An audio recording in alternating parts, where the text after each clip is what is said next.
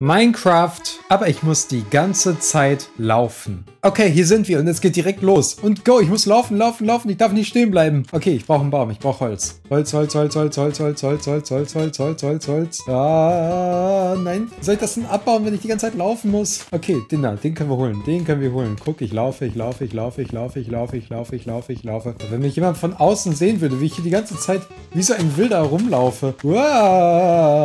Okay, jetzt habe ich fünf Holz, aber wie soll ich das verkraften? Ich kann ja gar nichts damit machen. Ich kann ja nicht stehen bleiben. Oh nein, das heißt, ich muss für immer und ewig weiterlaufen. Vielleicht können wir irgendwas Spannendes finden, so ein Tempel oder so.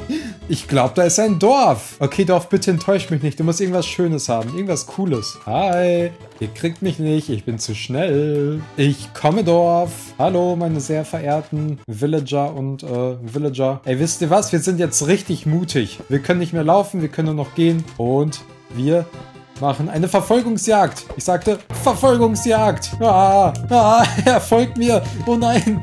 Hilfe, Hilfe, Hilfe. Du kommst nicht an mich ran. Komm, wir boxen ihn nochmal. Ja. Nein, was?